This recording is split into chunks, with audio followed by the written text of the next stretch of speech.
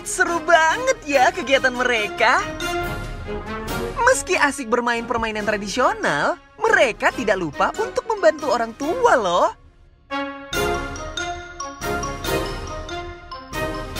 Ayo bermain dan belajar bersama dalam episode terbaru Dolanan. Jumat 8 Oktober 2021 pukul 17 waktu Indonesia Barat hanya di Indie Kids.